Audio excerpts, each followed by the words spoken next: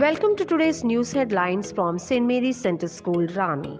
Updates of the day Assembly. Today there was assembly for the students from standard 6 to 8. Today's assembly was conducted by standard 7A. Students presented a variety of program. Today's assembly was anchored by Evangeline Robbie Vergis and Aluna. Thought of the day was presented by Godwin Vergis Sajan. News headlines was read by Shrisha Srikumar and Shabrinath. Speech was delivered by Sharon Achari. Quiz was conducted by Abel Monsi and Ruben Joe. Solo was sung by Janita Thomas. Group song was presented by the students of Standard 7.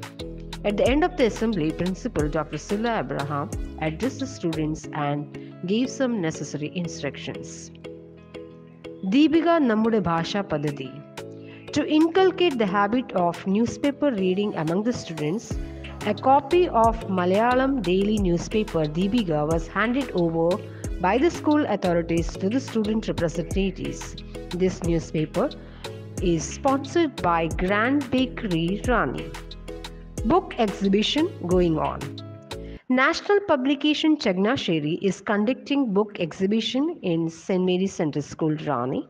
Interested students can purchase books and make use of the book exhibition. That's all for the day. Thank you.